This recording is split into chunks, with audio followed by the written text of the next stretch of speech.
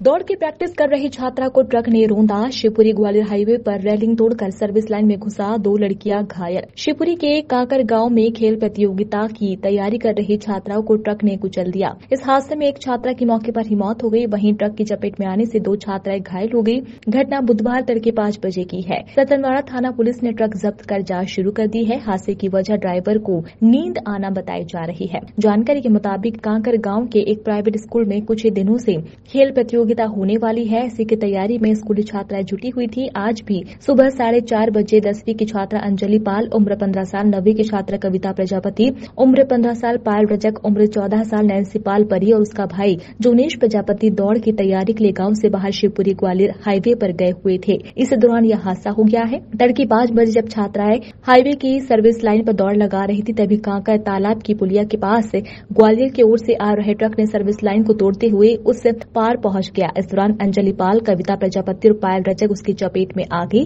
Truck की चपेट में आने से अंजलि की मौके पर ही मौत हो गई। वहीं कविता गंभीर रूप से घायल हो गई है। कविता के पैर में फ्रैक्चर हुआ है। पायल रजक को भी चोट आई है। दोनों छात्राओं को पहले सतनबाड़ा और बाद में मेडिकल कॉलेज में भर्ती कराया गया है। हादसे के बाद कविता के पैर में फ्रैक्चर आया है। पायल के घुटनों में चोट लगी है। क्या नाम भैया आपका? हेमंत पाल।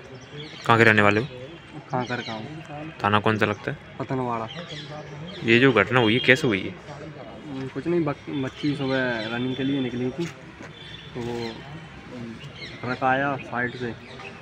ट्रक को लाइन पर चलती है बच्चियाँ रनिंग करती हैं सर्विस रोड पे। तो ट्रक आके दे गया उनमें कौन सा कहाँ का ट्रक था वो?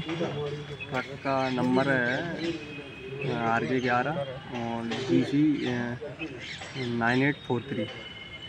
लड़की कौन सी क्लास में पढ़ती? लड़की टेंथ क्लास में थी। तो कितनी लड़कियाँ गई थी वो?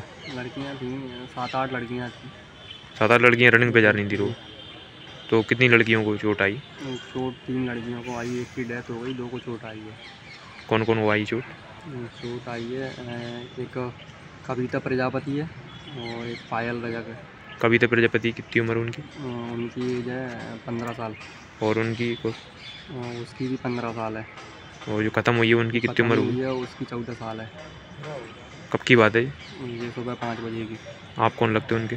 मैं उसका चाचा हूँ पता हुई अंजलि। अच्छा आप उनके चाचा हो उनके पिताजी का क्या नाम? कप्तान पाल कप्तान पाल कहाँ के हैं ये रहने वाले? कहाँ कर ही है। कहाँ ये सुबह की बात है? जी सुबह पाँच बजे की।